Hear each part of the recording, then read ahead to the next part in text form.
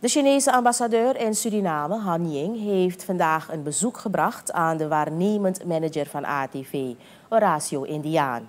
In een interview aan de redactie zei de ambassadeur dat het bezoek van president Santoki aan China voornamelijk gericht was op het verdiepen van de vriendschappelijke banden met China. Volgens ambassadeur Ying hebben de twee overheden consensus bereikt over een aantal zaken. De Chinese overheid heeft haar ondersteuning toegezegd voor de sociaal-economische ontwikkeling van Suriname. the two countries can further collaborate under the fr- framework of the Belt and Road Initiative and the new framework of the Global Development Initiative, both proposed by President Xi Jinping.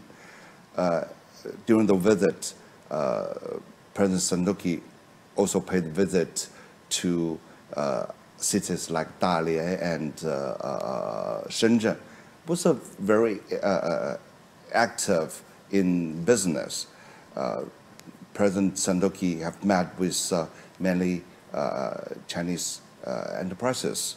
Uh, we see a lot of uh, new representatives uh, make a following, a follow-up visit to Suriname. We, we could see, as you mentioned, the further uh, collaboration will uh. De Chinese ambassadeur erkent ook de gedeelde cultuur tussen China en Suriname. Het is toe te juichen dat de Chinese cultuur steeds beter integreert in de Surinaamse cultuur. In de komende periode kunnen er meer culturele activiteiten verwacht worden vanuit de Chinese ambassade in Paramaribo, zegt Ying. Er komen uitwisselingsprogramma's waarbij burgers van deze twee landen meer kunnen leren over elkaar. Before long, our media uh, uh, uh, group will pay a visit to China. I think it will further strengthen the collaboration among medias. And also we see that Tsunami students now are uh, hardly in China.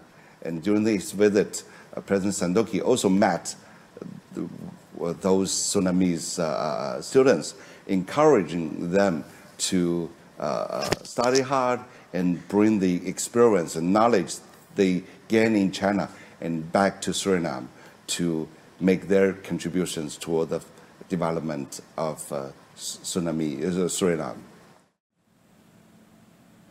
De ambassadeur is ook ingenomen met de rol die de Chinese diaspora inneemt om de banden tussen Suriname en China te versterken.